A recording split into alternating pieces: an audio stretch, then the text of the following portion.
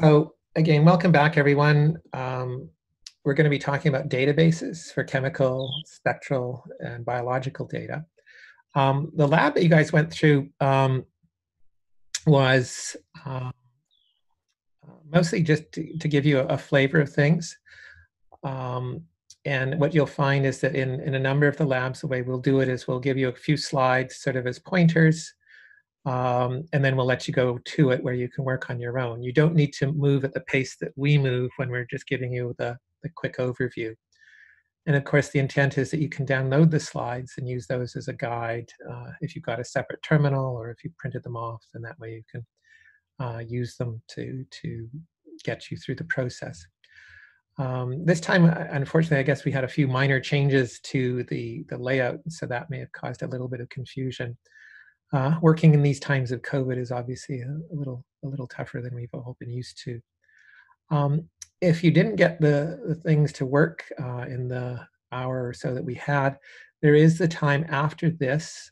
Uh, we've set aside for uh, you know an hour hour and a half of additional lab work uh, where you can try your hand at a few of the other um, uh, data sets we have um, and uh, that, that is an opportunity for you to, to explore things a little more, more closely.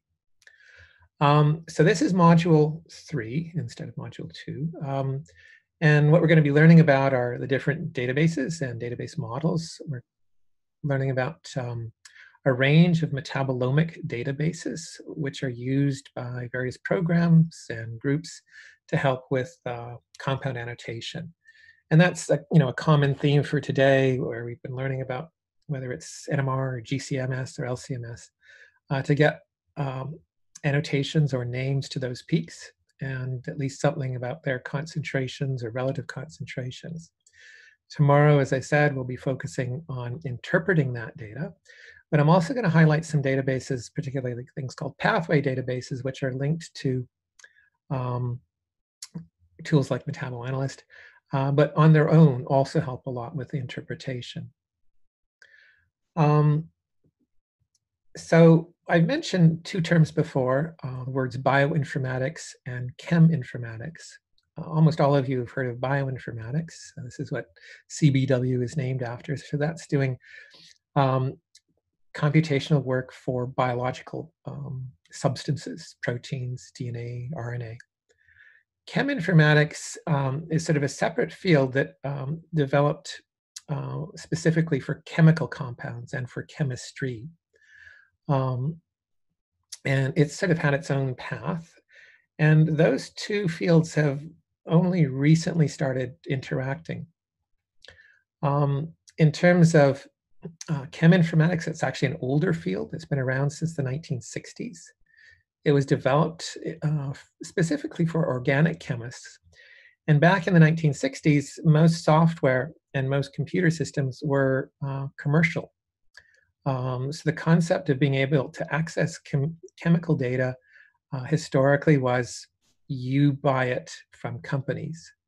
Uh, there are large companies, Chemical Abstract Service being one of the most significant ones, Sigma, MDL, Beilstein. These are all organizations that have um, were established or have been making money, millions of dollars a year, by selling chemical information. And the world of bioinformatics, um, a field is newer. Uh, it, really picked up steam in the early 90s. Uh, it was specifically targeted for people in, in the field of molecular biology, protein chemistry, genetics. And instead of uh, commercial software, the idea was to have web-based open access, which is what this course is.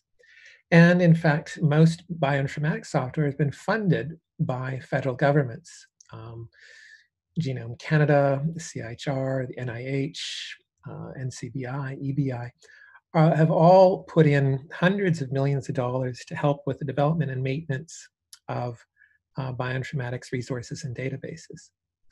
So there's there are two different cultures, and I think that's important to understand some of the challenges that, that we're still facing in, in the field of metabolomics, which tries to blend both cheminformatics with bioinformatics. Now, key to almost all of these techniques, uh, cheminformatics, bioinformatics, whatever, is a database. So databases help consolidate information, they link information, they help with data retrieval, data queries. Databases are supposed to contain reference data. So they can contain numbers or images. Obviously, in, in bioinformatics, they include sequences. Um, many people use databases as a, as a collection to help train and test predictive algorithms. Um, they're also used frequently for things like similarity searching. So whether it's looking for similar images, probably all of you have done that for on Google, uh, similar spectra, similar structure, similar sequence, similar text. Um, you can, and we'll show you that you can do this in many resources. Uh, it's common, uh, certainly in bioinformatics, it's common in cheminformatics. The other thing that databases help do is not only assist with the training of prediction algorithms, but they also can be used to facilitate prediction. So in bioinformatics, people use it to predict things like uh, phylogeny or relationships or properties. But we also do the same thing in cheminformatics to predict structures and function and spectra and relationships. So the, the, the core uh, of a lot of the world informatics world is based on databases. I've been involved in the creation of many, many databases over my lifetime, and this is how many of them evolve. Uh, many cases I start making a database on my computer, and it's done in an Excel spreadsheet or even just a Word file. Um, it's a hobby, and then you realize actually some people may need this. And so what you do is you start expanding the database. In my case, I usually bring on some graduate students or hire some summer students, and we start adding to the database and we make it a little more extensive. We make it relational. We'll put it into a warehouse. Um, and then if the database seems to be really taking off, we may end up um, creating a, not only a curated database, but an archival database. That's a database where other people can deposit it. it means there's open deposition, whereas a curated database, it's, it's, a, it's still an internal database. As you move from the hobby database to the archival databases, you move from things that might be just a, a tiny collection of sequences to something like GenBank, or a tiny collection of chemical structures to something that's as large as PubChem. Um, there's a progression in terms of the coverage and, and the depth. Now, some databases tend to be very deep, uh, but not very broad. Others can be very broad, but not very deep. And the larger they get, generally archival databases are not particularly um, great in terms of depth. Now, the size of the database, as it increases, so too does the size of the user community, and so do the costs of maintaining the database. So archival databases like GenBank, like Uniprot, uh, like many others, are incredibly expensive to maintain. Um, uh, in our case, my work in my lab has been creating curated databases. Those are a little cheaper to, to maintain, but they still cost a lot in terms of time. Um, as things uh, evolve, typically as you go from the hobby database to archival database, of course, things have to be more standardized, uh, depend more on automation, and you also expand the querying capabilities.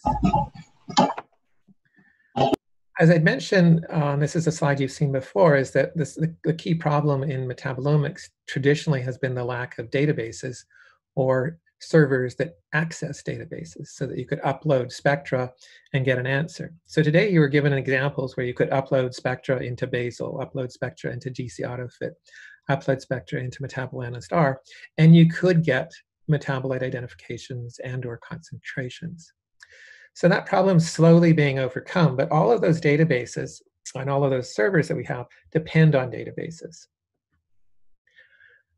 So the challenge still with metabolomics is that most of the data on chemicals is still in textbooks or print journals. Um, there have been hundreds of thousands of papers and journals and books published over more than 100 years, covering both clinical chemistry, classical biochemistry, natural product chemistry, toxicology, environmental chemistry.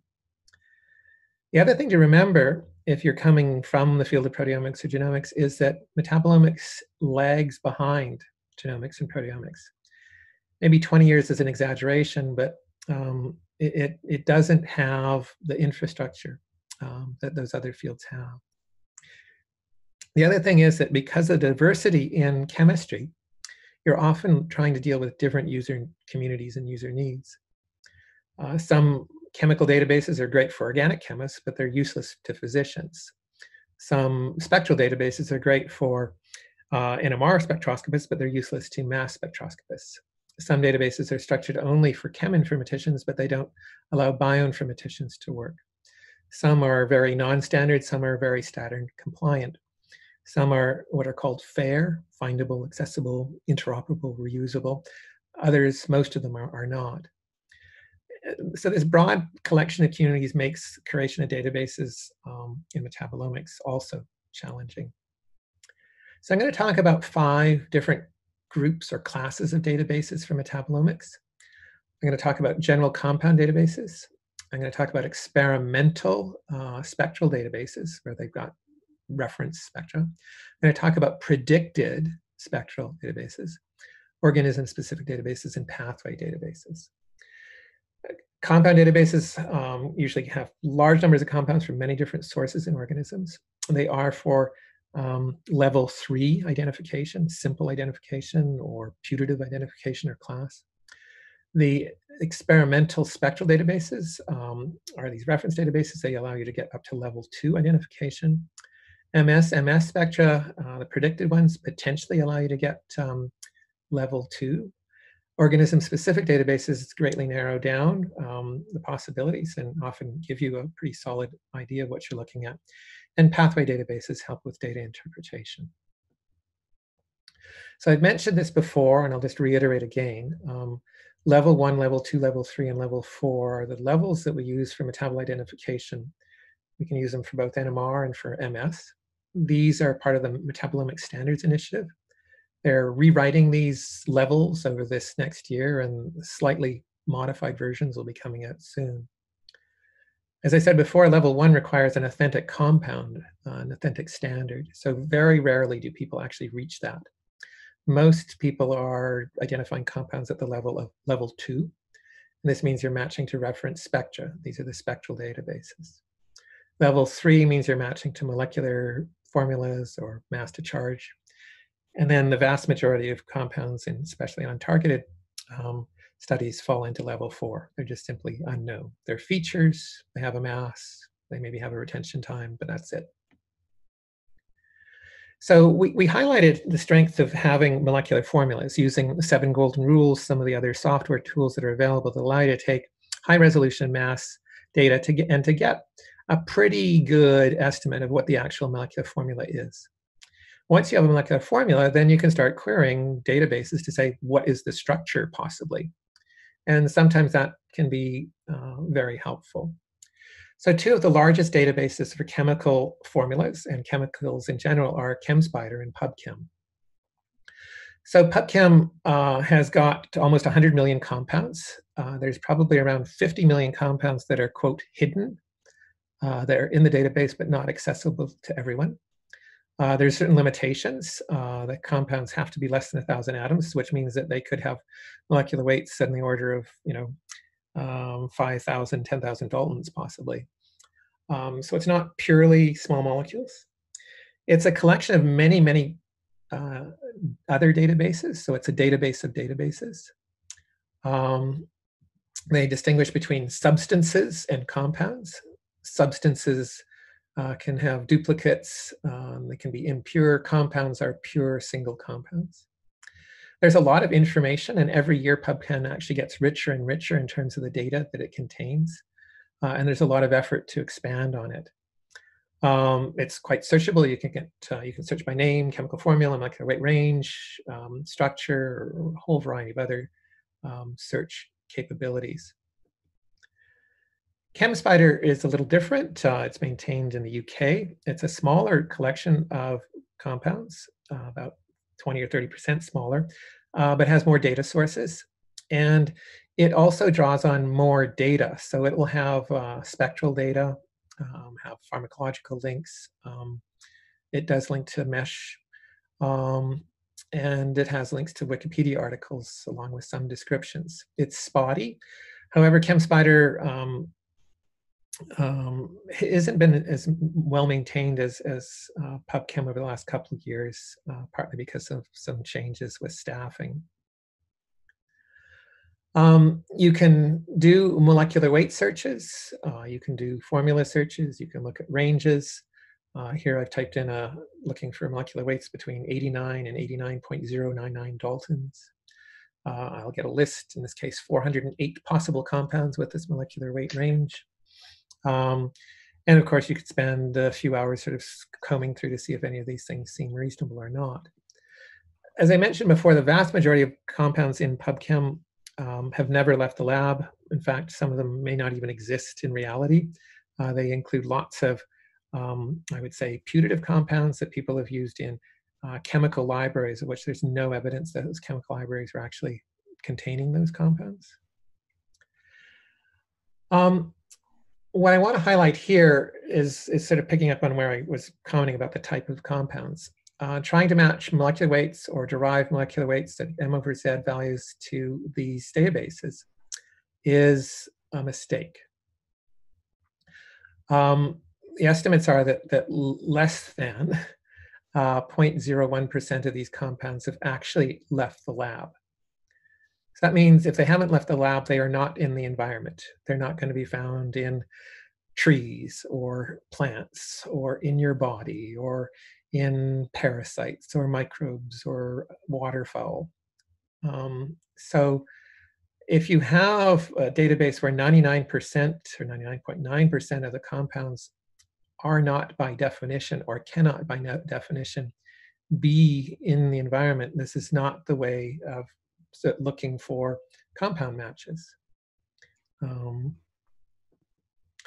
so what you can do is narrow things down to look for um, databases that are more focused on biological compounds. Um, ChEBI is an example. It's a collection of chemicals of biological interest. So it includes plant compounds and insect compounds and mammalian compounds and even drugs. Um, there's KNApSAcK, which covers a whole range of different plant compounds. There's lipid maps, which covers a whole range of different lipids from a wide variety of, of, of organisms. And then another one, which is called My Compound ID, which I'll talk about. So ChEBI has around 60,000 compounds.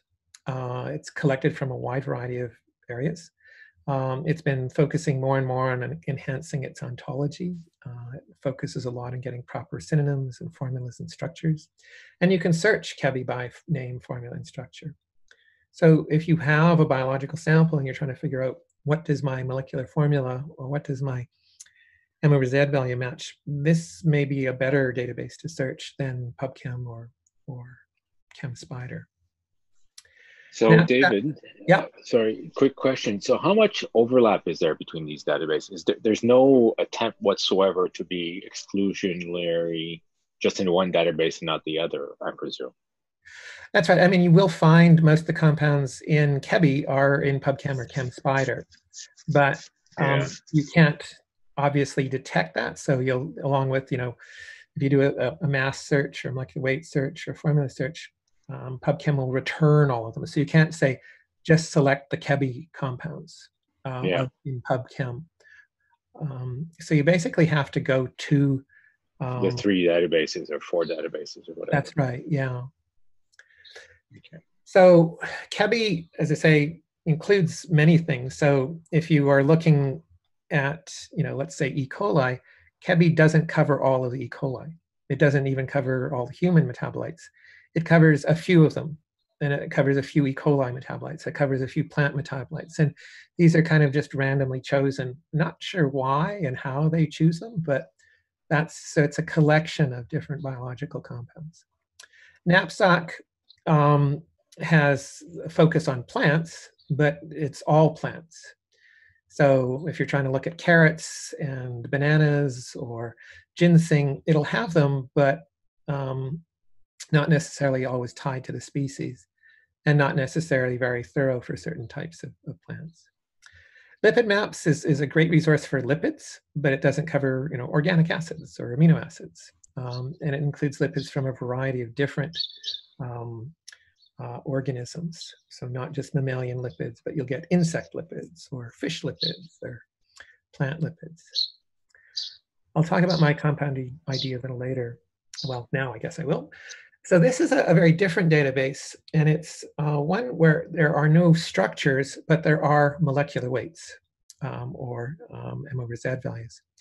And it took a small number of uh, compounds from the human metabolome database about almost 10 years ago, uh, 8,000 of them, and then it ran them through 76 different metabolic transformations. And it's done it through one pass and then through two passes. So um, roughly 76 times 8,000 gave them about 30, 400,000 feasible structures. Um, and then 76 times 375,000 gave them about 10 million feasible structures from second pass. As I say, these are not structures, but the key with my, my compound ID, or the revelation, was that many of the unknown compounds that you guys can't identify are probably metabolites of metabolites. These are the things like the second ohm or biological transformations of drugs or biological transformations of food. And uh, more and more, this seems to be the case that, that we're finding these unknown, unidentifiable metabolites are just variations of known metabolites, but they've gone through phase one or phase two or microbial biotransformations. So my compound ID is accessible. It hasn't been updated that recently, but it, it, it has helped a number of people suggest or identify possible structures. Um, these are examples of the molecular weights and the transformations. So it doesn't generate a structure, and the structures aren't necessarily verifiable. So it, it gives a hint. It's not, um, you know, it's not as thorough as as say ChEBI or HMDB or even PubChem and the fact that those provide structures and, and references and a whole bunch of other things. But this does allow you to look at possible biotransformations. And um, for the real compounds, which it started with, at least from those um, where it has an HMD identifier, it links directly back to HMDB. So I think it's important that if you are using molecular weights or molecular formulas or M over Z values to identify compounds, that you choose the right database, that you treat the results suitably skeptically, that you understand that these are only good for level three identification, and that information about the biology or the organism is, is key. People doing higher quality metabolomic studies work with um, compound identification via spectral matching. So these uh, next sets of databases are more important. And this is how most of the community is, is at least now moved towards, which is to use experimental spectra and experimental spectral matching. And this is level two identification. And you can do this for NMR or you can do this for mass spec. And uh, still level one requires authentic compounds unless you spent hundreds of thousands of dollars getting a library of authentic compounds most of us are stuck at using level two identification, where we match to spectral databases. So in terms of NMR, there's a number of databases specific for NMR. Um, the spectral database in Japan or SDBS, uh, the BioMag-ResBank, NMR ShiftDB. Um, this is a, a, database maintained in Japan. It's mostly for organic compounds. It has carbon NMR, proton NMR, it even has infrared spectroscopy, there are MS data as well it's a bit of a weird database because it limits how many times you can access it. Um, it has various rules. It doesn't have a whole range of uh, frequencies for NMR, uh, so that's a little limiting as well. But there are lots of spectra. Um, you know, 14,000 NMR spectra, 54,000 IR spectra, um, covering quite a number of compounds. Um, most of the compounds in this database are not metabolites but they are uh, arise from um, organic synthetic efforts. On the other hand, a database called BioMag-ResBank uh, does have compounds that are metabolites. Um, this database was originally established for proteins and protein NMR. And my background is in protein NMR, so I was very much aware of this database and helped um, launch it many years ago. But over time, they realized that um, people also wanted to put metabolites in it. And when they introduced metabolites, um, the popularity of this database shot through the roof.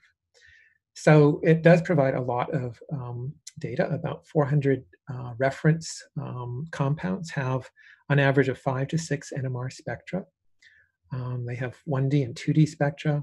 They have information about the names and cinema, synonyms and smiles. Initially, most of the focus was on plant, but they've now expanded to many other mammalian metabolites, and they have assigned all of the spectra, which is a lot of work. And so this is a useful tool for not only compound identification by NMR, but also for uh, doing things like prediction. Another database which is maintained in Germany, and it was originally started by Chris Steinbeck, who ran um, metabolites and ChEBI for many years, um, is NMR ShiftDB, or a second version now, NMR ShiftDB2. Um, it also has a large number of spectra and structures. Again, most of these compounds are organic synthetic ones. They're not metabolites. Um, but um, it has uh, tools for chemical shift prediction, and you can search by structures or chemical shift peaks, and it has a number of chemical shift assignments. So those are the NMR spectral databases. Um, obviously, there's a spectral database in um, uh, for NMR and HMDB. There are NMR spectral databases uh, used in um, both Magmet and Bayesil. Uh, and there's NMR spectral databases in the Chenomx uh, software as well.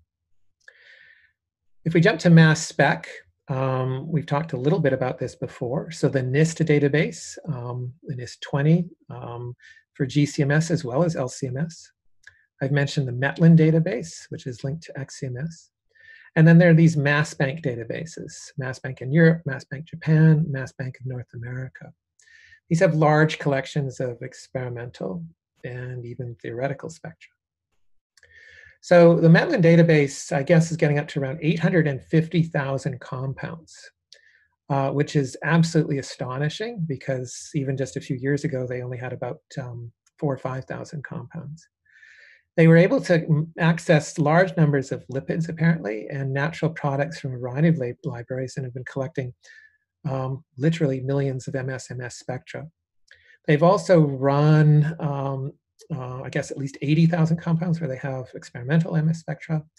And um, it has recently been, um, I guess, made available through commercial purchases. Um, although we've been inquiring for a couple months now and they say it's almost ready. Um, and it looks to be about $5,000. You can access, anyone can access the METLIN database, but you have to log in and register. Um, so it's a remarkable resource and it's expanded very significantly in the last uh, couple of years. So you can do mass searches. Uh, you can look in neutral, positive, and negative modes. You can go through tolerance. You can select which adducts you want. Um, you can click on a, uh, an entry and see the mass spectrum. Um, and uh, unfortunately, you can't download them. And so um, it, it's still not as accessible, I think, as uh, the open source community would like. Now, MassBank is another resource which is open. Uh, you can download Spectra, um, and it is essentially networked across uh, Europe and Japan and the US. It covers Spectra from many platforms, just like Metlin. A much smaller number, though, about 80,000 Spectra from about 14,000 compounds. It's an archival database, whereas the METLIN database is a database that's curated. So all the Spectra in the METLIN database come from Gary Siuzdak's lab, whereas the Spectra in MassBank, MONA, and others come from many, many labs around the world. So you can search by keywords, you can select instrument types, you can choose by exact mass, you can do formula, there's tolerance, you can search by InChI key or splash, um, looking for peaks and peak lists. Um, it's a fairly simple interface, and as I say, it's similar both to European and the Japanese version. Uh, you can enter a list of peaks and then um, send off uh, a query to see what matches. And based on this set of queries, these are the uh, molecules that, that matched to uh, the spectra uh, that we queried. So you can um, manually enter peak lists and then manually uh, query and get the results for matching molecules. So another version of MassBank is called MassBank of North America, and it's maintained by Oliver Fiehn. Um, and um, it includes many other sources and is substantially larger than MassBank Japan and MassBank Europe, partly because it includes a lot of predicted MS-MS spectra, and I'll get into the idea of predicted spectra a little later. Uh, so it uses LipidBlast to predict lipid spectra, but it also has experimental spectra. Um, it ranks the rate, uh, quality of the spectra, um, and you can do standard upload, download, um, and spectral searches and, and queries. Um, these are some of the statistics on it um, and some of the sources. It draws it from Human Metabolome Data Bank, MassBank, GNPS, Prime, and data in PubChem. It's used in software like NIST and MS Dial uh, and other vendors, um, and it follows the standard FAIR principles. So if you look at, at the number of uh, spectral databases, uh, at least where they have MS-MS, authentic MS-MS spectra, not just MS spectra, um, there sort of breaks down this way. So MONA has a very large number, many of which are theoretical. So it's about 12,000 compounds where there's authentic MS-MS spectra. Metlin has about 80,000 compounds with authentic MS-MS spectra. CFMID, which I'll talk about, has about 21,000 compounds with authentic MS spectra. But both CFMID and MONA have predicted spectra and predicted compounds. There are other resources like mzCloud, which has um, recalculated MS squared, MS cubed, MS to the fourth power spectra for about 8,000 compounds. The NIST databases around 13 to 14,000 compounds, MassBank 14,000, and so on. There's a fair bit of redundancy. So when you look at all the, all the databases all together, have about 85,000 compounds with MS, MS spectra. So even though the numbers are impressive, like you know 500,000, 200,000 compounds, that either includes just um, only MS compound, MS spectra, or theoretical. So um, certainly the size of MS spectral databases is greater than NMR, but it is not sufficiently large to actually help with identification of many metabolites because many of these compounds actually aren't metabolites. They're just things that you could pull off the shelf or that were easily accessible. So we have this numbers game where, you know, based on the number of chemical formula, we can expect there's about 32 billion chemicals. About 2.4 billion would be chemically feasible. We know that there's about 160 million compounds that have ever been registered in PubChem or CAS. We know that there's about 1.5 million spectra uh, in LC and GCMS. We know that there's about 30, 300,000 chemicals with EIMS data. There's only 85,000 chemicals with high resolution MS, MS data, and about 800 metabolites um, with high resolution NMR. So as we get down this filter, um, there's relatively few compounds for NMR, not that many for MS-MS somewhat more for EIMS, but only a fraction of the actual, you know, chemical universe is covered um, by these, or even the metabolomic universe. How many so compounds have uh, patents on them? You can include patents, and, and those are often accessible. Um, there's still, you know, information about them is is accessible. You're just not supposed to synthesize and sell them. Um, but yeah, yeah there, there is. But so, so how many? So how many compounds have been patented? I guess is my question. Um, I am not sure. I think it's it's several hundred thousand. Um, I believe have patents. Okay. okay. Interesting. Yeah. Sorry for this. But... No, that's fine. So, given the lack of experimental spectra, which are needed to do um, compound identification, we're, we're facing a dilemma in the world of metabolomics. we could either systematically, just as the Human Genome Project did, systematically sequence, you know, the human genome or all these other genomes. So in the case of metabolomics, we can try and synthesize all the all the known metabolites. We have structures, we have likely ones. Uh, we could also modify them, run them through, you know, artificial livers and artificial guts, which will generate modified versions. We can purify them from natural products we could have this massive effort, you know, it cost a billion dollars to sequence the human genome. The estimate right now is it would be between five and ten billion dollars at least try and generate the estimated five million compounds that we need to complete uh, the metabolome. And it's not just the human metabolome, it's the plant and microbial metabolome. That's not going to happen. Um, and it's not going to happen in a short period of time either because synthesizing, isolating, purifying chemicals is not fast, not as fast as sequencing. So the feeling is that the only way that metabolomics can kind of play the same game and to get around all these unknown or unknown unknowns, or it's called the dark matter of the metabolome, is to move towards uh, computational predictions. Uh, to computationally predict spectra, NMR, MS, um, and to even predict um, compounds, predict the biotransformations of those. That's a lot cheaper. Instead of billions of dollars, it's measured in hundreds of thousands of dollars. And it's also feasible. So that segues into this idea of predicted um, spectral databases, where we take the compounds that we know about and we generate uh, their likely um, fragmentation patterns. So believe it or not, the very first artificial intelligence programs written in the 1960s um, were designed to do MS-MS prediction. So the field of artificial intelligence and machine learning was launched with the concept of predicting MS-MS spectra from compounds. Now, back in the 60s, they probably couldn't get very far. Um, mass spectrometers weren't great, and computers weren't great either. But efforts have continued, and, and one of the more successful efforts is this thing called CFMID, Competitive Fragment Modeling.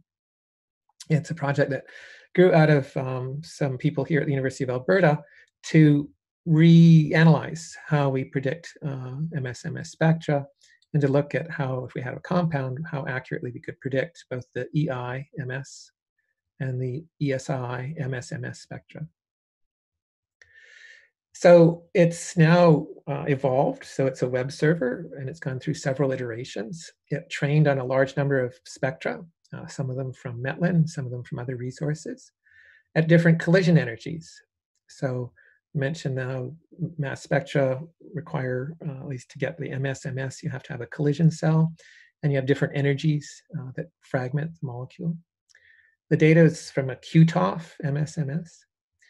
And it essentially uh, learns by experience.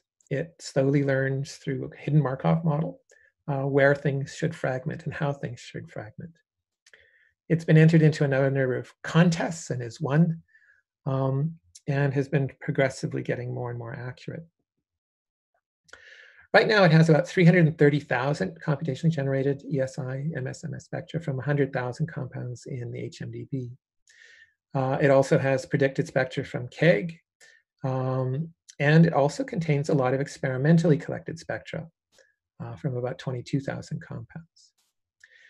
In addition to using machine learning techniques, latest versions of, of CFMID have also used rule-based methods to predict um, MS-MS spectra for lipids, acyl carnitines, polyphenols, and others.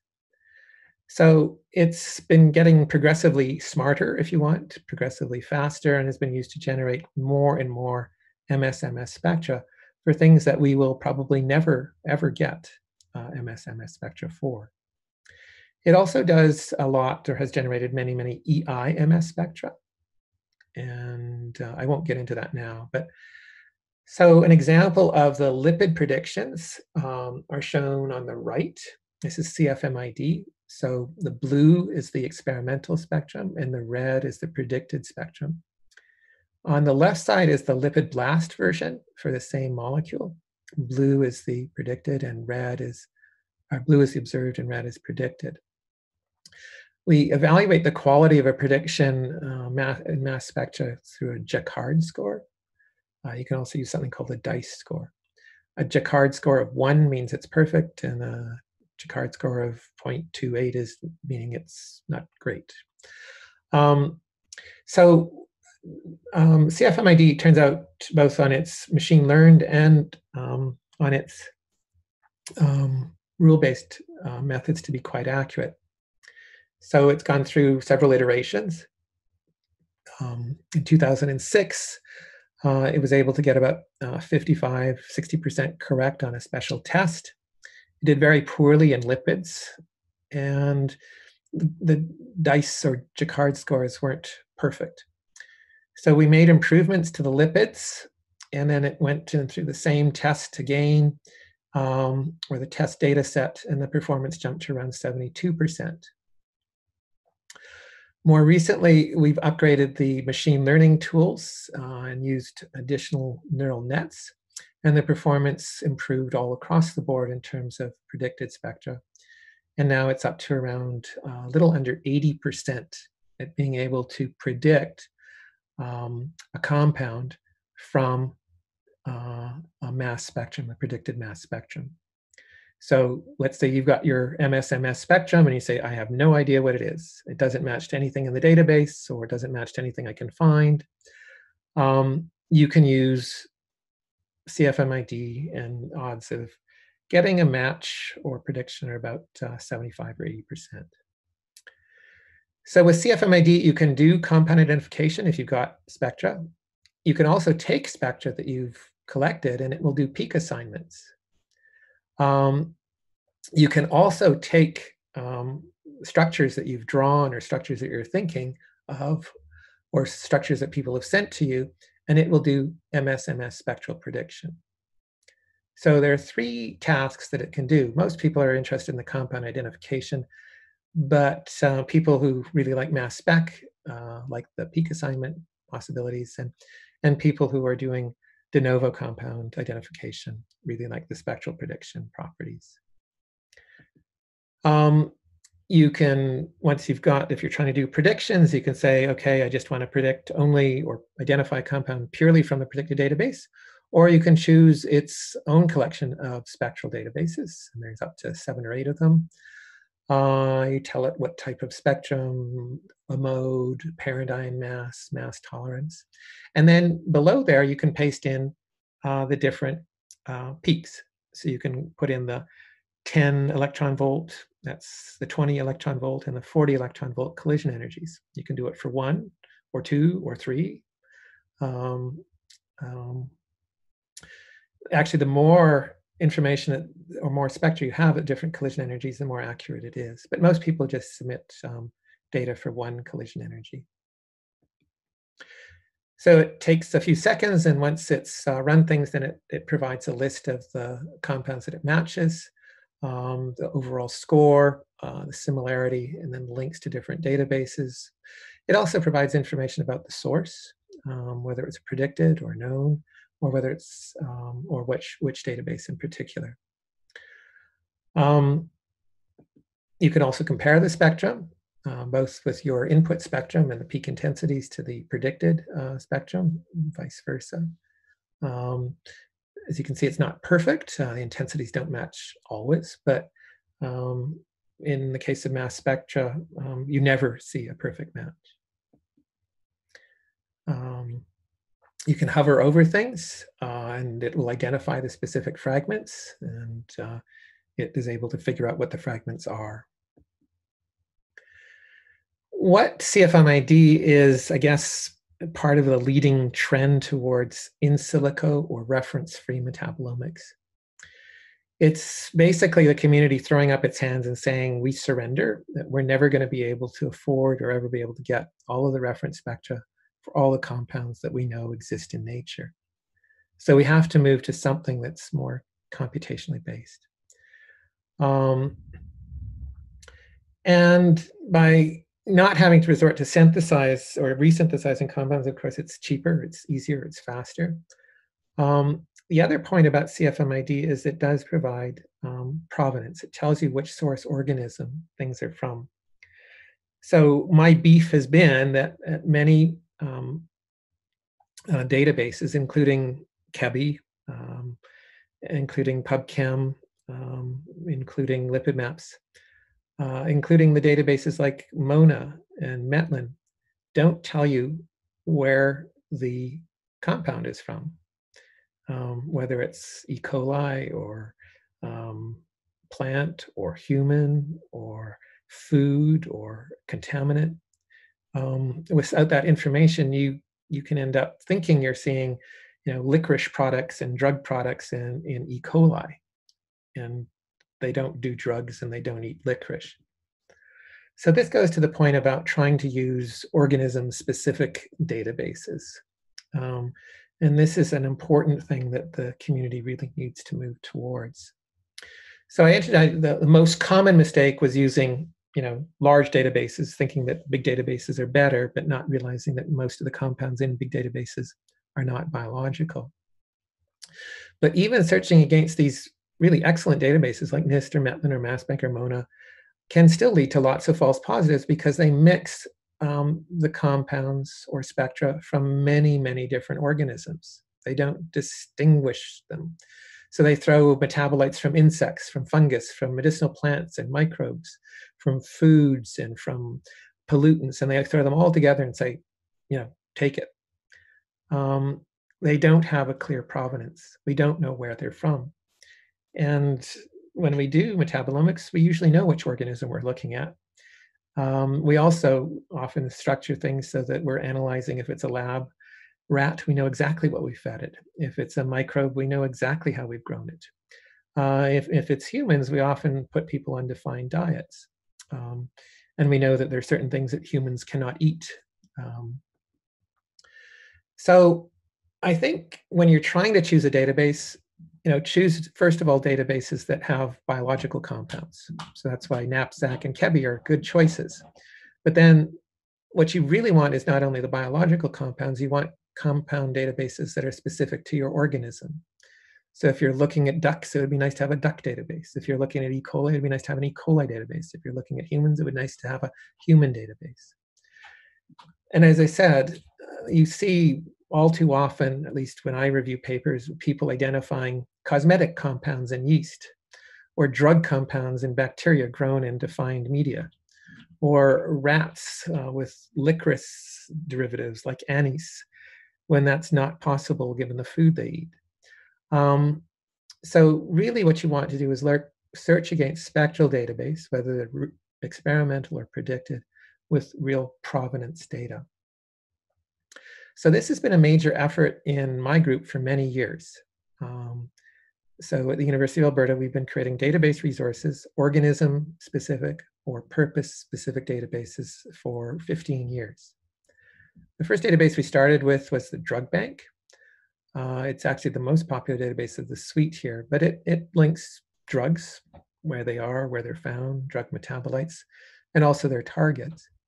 Human metabolome database followed shortly after, and so it's focused purely on human metabolites. That's called HMDB. There's a yeast metabolome database, that's called YMDB.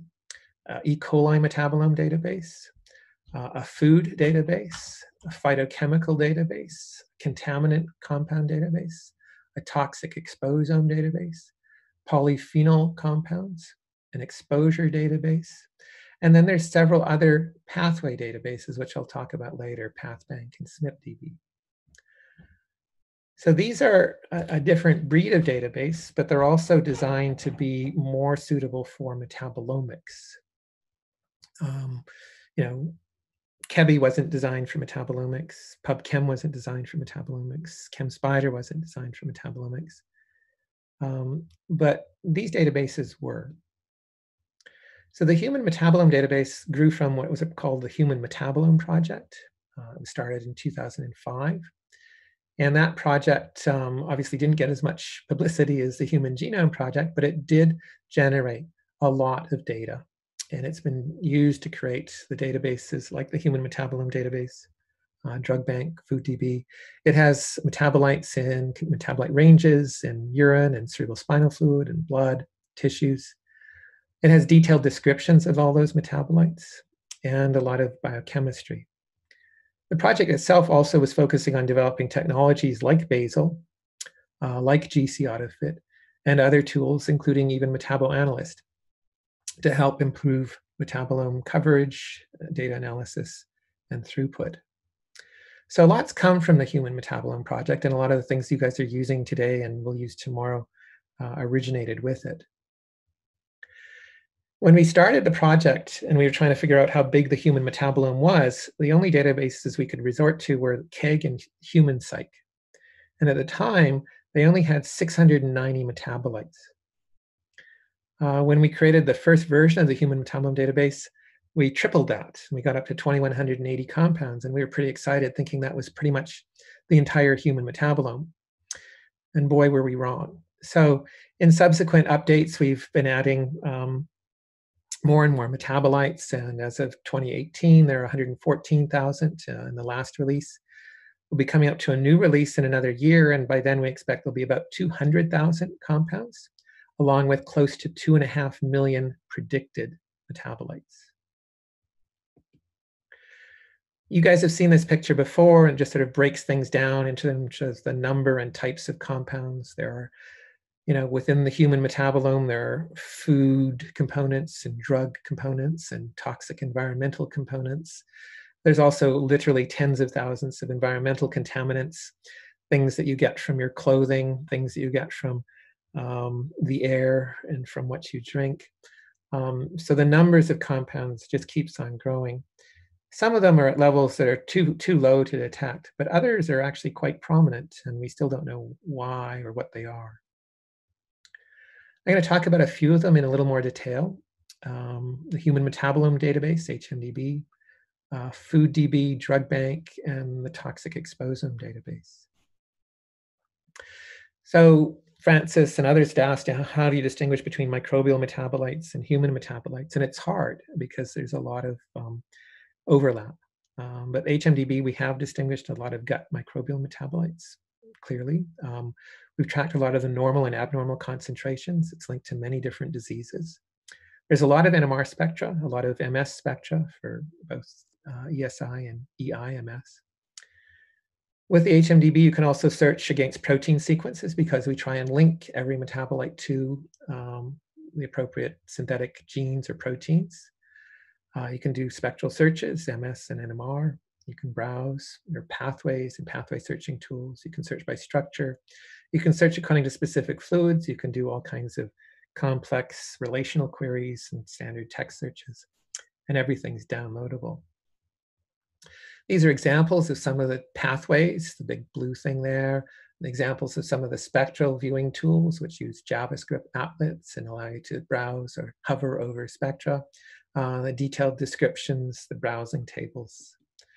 Um, you can open up a given metabolite and you'll see up to 100 and some data fields that cover um, nomenclature and synonyms and formulas and structures, 2 and 3D structures, the taxonomy uh, using ClassyFire, um, an ontology, which is still being developed, uh, all kinds of predicted information, uh, as well as spectral data and all of the spectra can be searched. Um, you can put in um, peak lists and you can choose different combinations of adducts um, and different subsets of the database and it will give you the matches and the scores um, through these um, searches.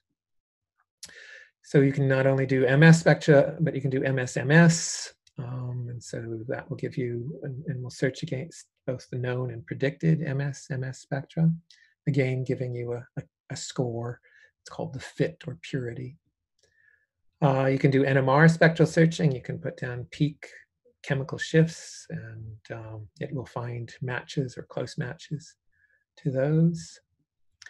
You can search by structures, they're applets, so you can draw a structure and it will look for similar structures, um, scoring them uh, by their structural similarity. You can go to various biofluids um, there's many different conditions and lots of information about the normal and abnormal metabolites for many different biofluids and many different um, metabolites. As I mentioned, you find you have to serve different groups. And so a lot of the work for the biofluids is oriented towards what physicians need. Work for the spectra is more oriented towards analytical chemists.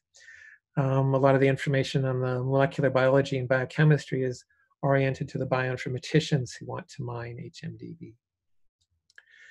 These are some data sets um, tracking the changes of HMDB from 2006 to 2018. And you can see that in the early days, numbers of compounds were kind of small. Information about diseases and disease links was kind of minimal. The stuff in red is probably the more relevant stuff in terms of both the number of spectra. Um, so now up to 430,000 spectra, um, uh, the number of compounds with predicted spectra, GCMS spectra, uh, the large number of pathway maps, um, and a large number of reactions and ontology terms. We've been fixing the structures. Uh, unfortunately, most of the commercial software that's used to generate lipids um, just kind of randomly generates them. um, so we've been re-rendering lipids so that they can look a little more um, pleasant or standard. Uh, we've introduced, as I say, the spectral hovering so people can hover over MS and NMR spectra or peak spectra for both GCMS, LCMS, um, and soon NMR. We've improved the adduct calculations um, and uh, fixed up some small errors that we noticed um, and um, have more than doubled the number of adducts that are calculable. Uh, descriptions have been updated and improved. Uh, we're still continuing that. Um, I spent most of my weekend this weekend updating about uh, 100 descriptions in HMDB. So curating uh, requires lots of work, um, and we actively continue to curate these databases. Drug Bank, as I said, is the most popular resource. Uh, it gets around 40 million hits a year. Uh, it's used by most of the world's drug companies for drug repurposing. So when COVID hit, um, lots of things started lighting up in Drug Bank uh, because everyone is using it. And the reason why they use it is because it links drugs to drug targets. And a lot of people find that very useful for something called drug repurposing. So this is what they're trying to do uh, for COVID because it will take 10 years to approve a new drug for COVID. But if we can find an existing drug based on its binding properties, um, you have a potential uh, lead. Um, so it includes both small molecule drugs and experimental drugs. It has lots of information on mechanism of action, metabolism, pharmacokinetics, lots of information on drug metabolism and drug metabolites, and on their drug targets. Toxic exposome database, I briefly mentioned. It's a smaller database, but focused on the toxic compounds in drugs, pesticides, herbicides, disruptors, solvents, carcinogens, things that are nasty and things that you don't want to have in your body or in the water or in any, any other animal. But it's modeled very much like a drug bank. So it has a lot of information about the toxic uh, targets, um, the genes and chemicals. It also has a lot of the reference spectrum. One of the more popular databases is, is called FooDB, and this is a little outdated. So there's now more than 70,000 compounds in FooDB.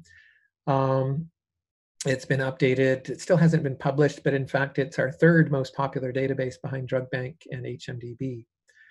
Um, and the fact that you can find literally thousands of compounds for anything from an apple to an orange to your cereal um, is quite intriguing. And it's certainly taken us a, in new directions to look at um, what is in your food. As we've been evolving to more of the microbiome and also looking at things like wine and beer and bread, um, yeast play an important role. And so we've created this yeast metabolome database uh, that covers a lot of um, data for wine compounds, um, yeast metabolites on different growth substrates, a lot of the gene and metabolite associations, many spectra, and now there are many more pathways, probably several hundred pathways now in the yeast metabolome database. E. coli, uh, also uh, an important microbe, um, and uh, certainly a model microbe. And this is our effort to also extend the microbiome uh, metabolome Um, so this, sorry, David, I, yeah. I, need to interrupt you. um, if you went back a slide to the yeast page, uh, is uh, so I, I totally agree with your your your gripe about sort of integration of of many of these databases with their various organisms and so forth. And uh, one, do you actually link or subclassify these metabolites on uh, because you can take this to a whole different level if you want to, not to the genus species level, but to like strain level. That's with respect to metabolites. Yeah. So with yeast, we're mostly modeling after C. cerevisiae. So we don't have some of the specific strains. Um, and when we started the database, there wasn't a whole lot of strain data. Um, but yeah. Um, the um, and what about uh, linking it with uh, folks uh, at SGD, the Saccharomyces genome database, or do you already do that? Um, I think we provide some links to their uh, genome data through us. I don't think they link back to us, um, but yeah, I could. I could, I'm on their SAB, so I could uh, work with them with you. Oh, would be great. Yeah. Yeah. yeah. okay. Oh, super! Thanks. No, because I think I think it's a. Huh? Yes. Yeah. Yeah. and uh, the thing is, I mean, um, I totally agree with you. And and the the challenge is, I'm also, as you know, I'm an editor on the database journal, and there's, I I see a lot of databases, you know, popping up all over the, the planet, and there's a lot. I, am and I'm not challenging you on this front, but I'm saying this is a general comment. There's a lot of people that just reinvent the wheel, and um, and so the ability to actually integrate with existing resources and make each other stronger and better, I think is a really sort of uh, important thing. And it requires extra work because it requires, you know, APIs. It requires, you know, sort of these databases to programmatically sort of talk to each other. And and because, as you alluded and mentioned a few times, when the curation is, is sort of labor, very labor intensive and if you can have some of this programs that actually make the links between the various uh, types because they do pathways they do um, and so sgd does do pathways and they do keep strain information when it's available and they do keep you know there's a lot of and like like one of the big industry of course that's interested in this is the wine industry. And, and of course the wine is using yeasts strains which are proprietary and but if they but they obviously do a lot of metabolomic analysis and so forth. So uh, it's a it's a very interesting space to explore further i'd say. Yeah no i think so. And those are great great points. Um, you're right. I think in the world of databases there's a lot of reinvention of databases or databases of databases um, I think one of our challenges, but also one of the strengths, uh, is that, that, the databases we create are, are, I guess I'll say, original. So uh, they are. The oh yeah, yeah. For a lot of other databases. Um, no, absolutely, and I think I mean, and and the the credit and the, the mark of such databases is that they get used. I mean, so I think databases that don't bring anything don't get used, and the ones that do bring new things and new integrations and new perspectives and new link outs and new link ins and so forth do get used. And you know you having something used millions of times a year is is definitely a true sign of success and and uh, bring something new to the table that didn't exist before. But uh, i you know i've worked yeah i've, I've worked with many databases myself yes exactly so. yeah for those of you who don't know that you know, Francis cut his teeth at the NCBI and worked in many of the key databases that everyone now uses. Um, I used to be in charge of Gen. I used to be in charge of GenBank, so you may have heard of that. yeah. So um, maybe I'll, we'll just carry on here, but just um, sorry. Yes. The I think the point is that the E. coli metabolome database is really, I think, a, a very useful segue into people, I know there's a lot of people in the class that are doing microbial metabolomics. And this this was designed specifically for that. Uh, of course, the number of pathways has increased quite a bit over the last year or two, uh, but it has lots of, of um, reference spectra. And though I, I, a lot of people don't use EcoCyc, um, the database there uses a lot of um, literature curated stuff, which um, you know has things like ampicillin as a, an E. coli metabolite, and that's because people put in ampicillin to stop E. coli. Um, it's not um, it's not a, a, an E. coli metabolite. So tools and databases like uh, these um, organism-specific ones um, or purpose-specific databases that I've mentioned allow you to produce and annotate um, those lists of metabolites. Um, and uh, we've given you some examples in the lab, and then I've shown how some of these databases can also be used to identify metabolites. But what they do is they produce lists. And lists are nice, but what we really want in biology is understanding. And pathways are a vehicle to both integration and understanding. Pathways link metabolites to genes and proteins, but they also link it to physiology and to pathology and to many other fields. So I'm going to talk about pathway databases here, and I think in the interest of time, sort of speed things up a bit. Most of you are aware of KEGG database, certainly the most popular pathway database in the world. Um, some of you have probably used BioCyc or MetaCyc. Um, they started about the same time as KEGG, and that's maintained uh, by Peter Karp.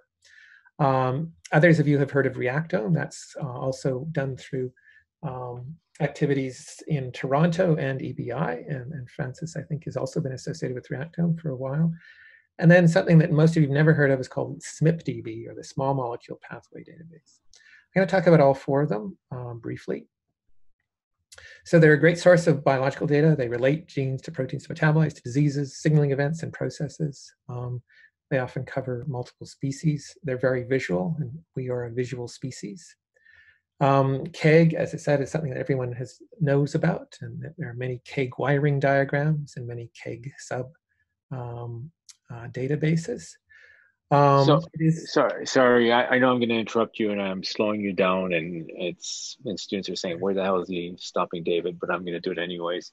So, is KEGG um, KEGG ran into some financial problems? That's right. Yes.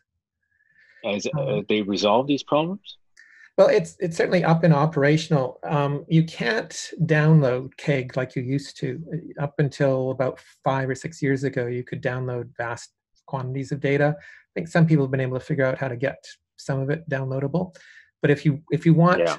the local database, you have to pay money.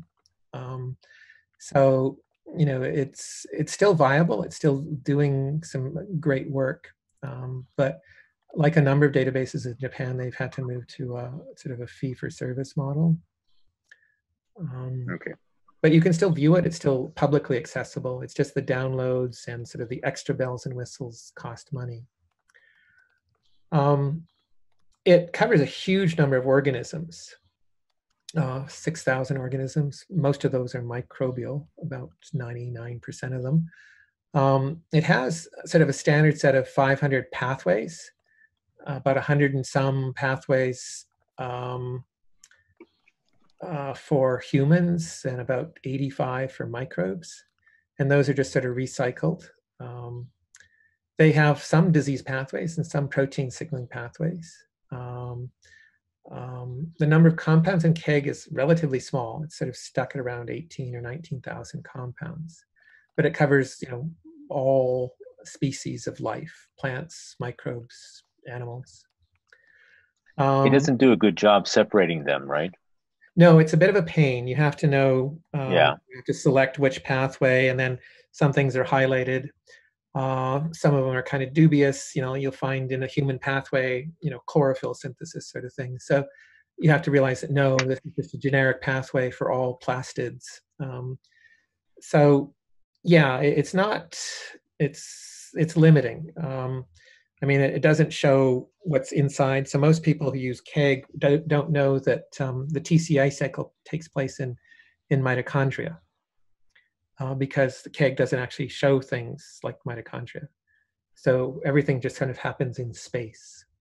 Uh, it doesn't show transporters. So obviously something that's produced in the cell has to get outside and stuff that the cell needs, that has to get inside. So there's almost no information about transport. Likewise, almost all of KEGG metabolism pathways are on catabolism and anabolism, yet probably 90% of what metabolites do is for signaling. And so we have kind of a warped view of the world uh, in metabolomics, thinking that everything is about um, catabolism and anabolism, and that's fundamentally wrong. And part of that's because KEGG was developed in a time before metabolomics existed. KEGG was developed specifically for um, pathway uh, analysis, uh, sort of a, an obscure field. Um, oh, it was to complement biochemistry textbooks. Yeah, basically, you're right. So it was yeah. it had a different purpose. Uh, they still yeah. maintain the purpose, but it, it really wasn't intended to help uh, or enrich metabolomics. It's just that people found it in the metabolomics world and they've made use of it. Um, instead of like, you know, you found a sailboat and now you're using it to, to fly down a, car, a, highway uh, by sticking wheels on it.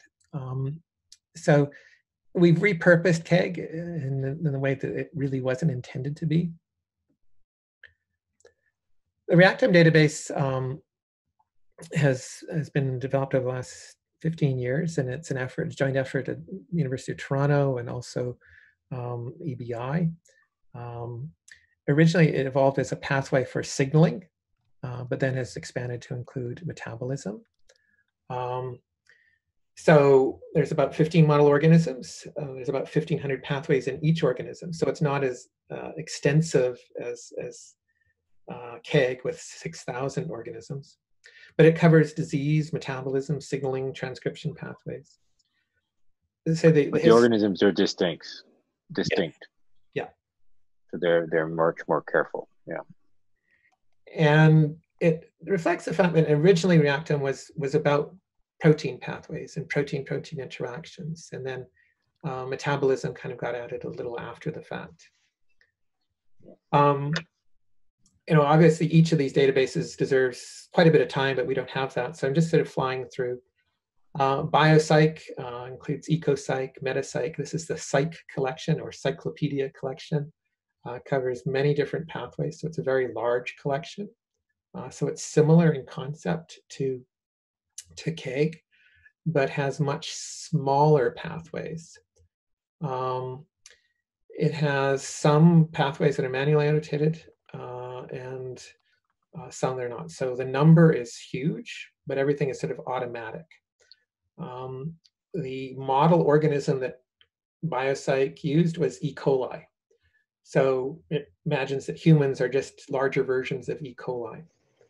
Um, so you get some kind of queer, odd-looking pathways in um, in BioCyc. And as I say, most of them are single reaction pathways rather than you know, large complex ones like the TCA cycle or the lipid synthesis cycles. So as I said, most pathway databases that have metabolic data in them just show catabolism or anabolism. And that's the idea that metabolites are just bricks and mortar. But as I said at the beginning, metabolites are much more than that. They actually play huge roles in signaling, immune function. People have heard of immunometabolomics, inflammation, homeostatic events, epigenetics, most of that's driven by methylation processes, that's purely chemical. Drug action, tissue repair, cancer is looked on more and more as a metabolic disorder. Almost all the chronic diseases, including even Alzheimer's, appears to have fundamental metabolic uh, and signaling um, relationships. And so the, the, role of metabolites and their signaling, immune function, immunometabolics, and inflammation had nothing to do with catabolism or anabolism. I mean, the most important signaling molecule in your body is called glucose. And many of you are probably feeling a glucose low right now, some of you drifting off to sleep. Um, if you get something sweet in your mouth or in your stomach, it'll get you working again, but it's not just activating your brain, it's activating a whole range of other actions. And this is an example of a molecule that's around five millimolar in your body. And so the number of, of receptors and proteins that glucose activates is amazing. And none of it's shown in KEGG. None of it's shown in Reactome. None of it's shown in any database, frankly. So we're missing a lot and we're misinterpreting a lot because of that. So it was partly because of that and those problems that we started creating this database called the Small Molecule Pathway Database. And we decided to create a database specifically for metabolomics to try and capture those things that weren't in traditional databases. So this is sort of its layout. Um, every pathway has a description. Every pathway is colorful. Every pathway has some information about where the processes happen within the cell and within the organelles. There's almost 50,000 pathways now. Um, some of them are metabolic diseases, some of them are metabolic pathways, some of them are drug action, and more and more are related to signaling pathways. We tried to get information about compartmental um, organelle information, quaternary structures of proteins, and try and relate not only the metabolites, but also proteins and genes to that. And so you can take an input gene, protein, or chemical metabolite lists and upload them to SMPDB and it'll generate um, matching pathways or disease diagnoses. This is an example of a pathway uh, showing information about how this particular thing, which is, can't even read it here, uh, it's too small for me to read, but um, how it links to actions in uh, the brain and muscle and other tissues, uh, highlighting where the action takes place in the mitochondria, uh, how some of the metabolites move between peroxisomes and other organelles, uh, how some mutations have made this particular enzyme non-functional, leading to higher levels of this metabolite, which cause brain and muscle damage. Um, so um, you can see the membrane. Uh, ideally, it would show how the metabolites were pumped in or brought in or kicked out. Um, and all of the metabolites are linkable to HMDB. Um, as I say, every pathway has a detailed description with lots of references. Um, and um, you can indicate which metabolites need to be highlighted, and so they will be colored in red in the in the pathway. So this is through the SMIP mapping. Um, you can also um, include concentration data, and then that will color the pathways according to different ranges, ranging from yellow to red to green, depending on those concentrations. Um, the proteins are all linked to UniProt. As I said, the metabolites all linked to HMDB. You can re-render the pathways in color or black and white. You can make them look like uh, KEGG if you want. Um, you convert them to color or printer-friendly versions. They can be in different uh, graphical formats. They can also be stored in systems biology markup language, BioPax format.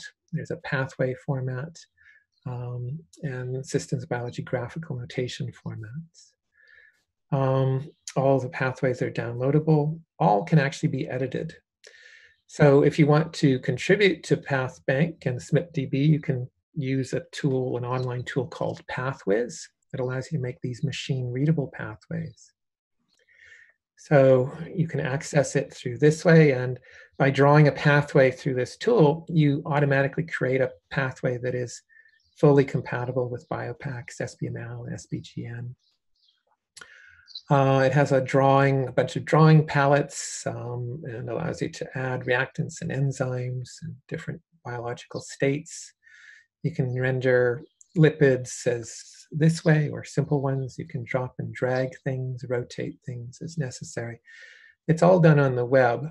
Um, there are various icons to illustrate, you know, the liver or the ER, um, all the metabolites are rendered automatically. So if you provide a name, it'll generate the metabolite and name it. Um, tools to facilitate the preparation of proteins. Um, and this is an example of one that's been generated, in this case, lipid biosynthesis, showing things that are happening within organelles or within the ER or within different parts of the cell and how uh, all of this primarily takes place in the kidneys in this particular case. There are videos on YouTube. There's a Journal of Visual Editing um, um, or Education in, um, about how to do pathways with PathWhiz. Um, you can also, when you draw one pathway, you can propagate it to other organisms or you can replicate it when you're making pathways that are very similar. So that saves a lot of time. Um, so you can take the organism's pathway for Arabidopsis and then propagate it to grape uh, vines if you have um, the genome associated for it. Using PathWhiz and SMPDB, we were able to generate a large number of pathways for 10 model organisms uh, recently and produced a resource called PathBank. So this now has a little over 100,000 pathways for humans, fruit flies, yeast, C. elegans, E. coli, mouse, rat, cow, Arabidopsis. And like SNPD supports the SBML, SBGDN, BioPax, and so on. Um, it has a lot of, in this example, plant pathways and plant compounds um, from Arabidopsis, so it's quite extensive.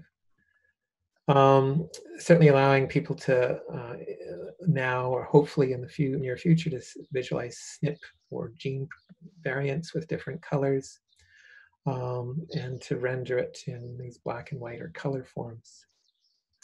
We compared PathBank to a number of other databases, um, WikiPathways, Biocarta, Reactome, both in terms of their size, the scope, um, the type, the linking, the signaling, um, drug action, descriptions, um, summaries, and so on.